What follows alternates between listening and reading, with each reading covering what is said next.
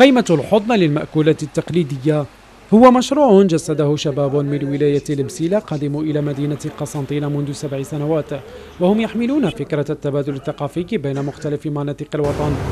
جسدوا مشروعهم كخيمة تختص في المأكولات التقليدية الخاصة بولاية المسيلة إحنا شباب من ولاية المسيلة جينا هنا قسنطينة بفكرة إنشاء مطعم تقليدي للأكلات التقليدية. واليوم الحمد لله يا ربي آه، تعرفنا درنا اسم آه، خيمة الحضنة هنا في في قسنطينة. باش ننشروا المأكولات التقليدية تاعنا تاع مسيلة لقينا صعوبات في الديماراج تاعنا. كما نقولوا اليوم الحمد لله يا ربي تعرفنا. اليوم رانا في خيمة الحضنة عند شيف شخشوخ. آه، ديما يصلى فينا ما شاء الله. حبينا ناكلوا اليوم زفيطي ماكلة تقليدية. حنا نعرفوها تاع مسيلة. مشروع لقي ترحيبا واسعا من قبل المواطنين من داخل وخارج الولاية. اذ أصبحت هذه الخيمة ملاذا للعائلة كونها تتميز بديكور ومأكولة لها طابع خاص. هذا ويسعى الشاب علي ورفاقه إلى تطوير هذا المشروع حفاظا على الموروث التقليدي ومحاولة لنشره حتى إلى خارج الوطن. C'était une découverte. Je, suis venue avec mon fils. Et cette fois-ci, c'est ma fille pour, parce qu'on a bien mangé.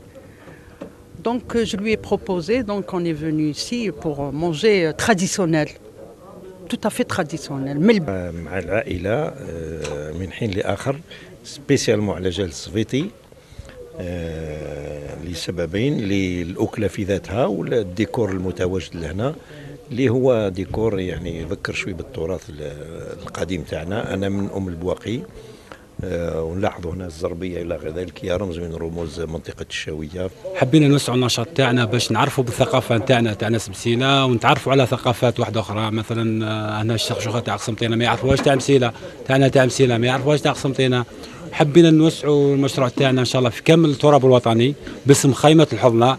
هم مثال للشباب الطموح استطاعوا أن يفرضوا أنفسهم ليكونوا سفراء للمأكولات التقليدية الخاصة بعاصمة الحضنة في مناطق الشرق الجزائري.